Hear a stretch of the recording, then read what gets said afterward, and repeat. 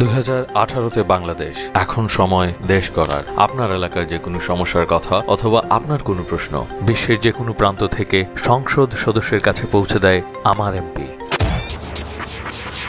নতুন উপজেলা বাস্তবায়ন সম্পর্কে জানতে চেয়ে করা আরও একটি প্রশ্নের উত্তর দিয়েছেন কুমিল্লা তিন আসনের মাননীয় সংসদ সদস্য জনাব ইউসুফ আবদুল্লাহ হারুন। এলাকাবাসীর পক্ষে প্রশ্নটি করেন আবিদ ফয়সাল।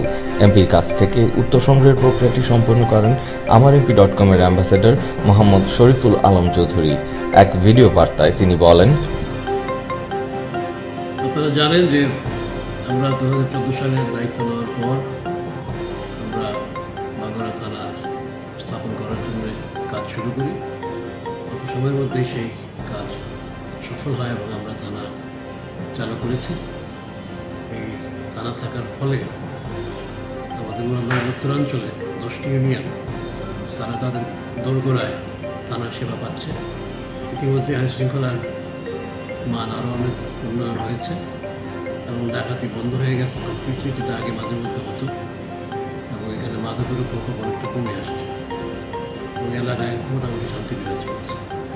আমরা চাচ্ছি যে মুরাদনগর উপজেলা বর্তমানে বাংলাদেশের সবচেয়ে বড় কয়েকটি উপজেলার মধ্যে একটি।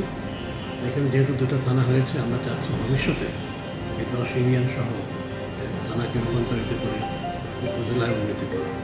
এবং সেই জন্য ইতিমধ্যে আমি সরকারের কাছে আবেদন রেখেছি। এটা ধাপে ধাপে এগুলি প্রক্রিয়া চলবে।